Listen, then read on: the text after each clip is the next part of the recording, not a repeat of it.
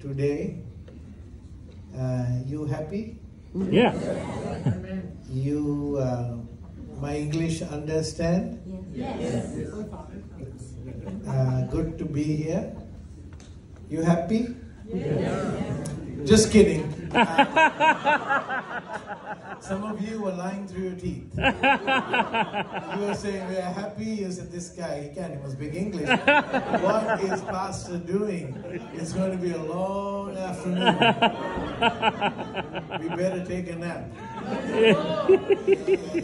well, Sri Lanka is a British colony, so yeah, some of us do speak English. Um, and um, it's great to be here with you.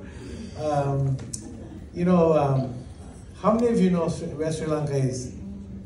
Most of you do, yeah. And uh, it's an island below India. It's not India, it's an island below. It's, it used to be called Ceylon.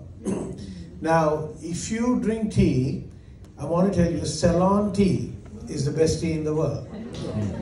Now, now, some of you may not agree. It does not matter. I'm the speaker today, and I say it's the best tea in the world.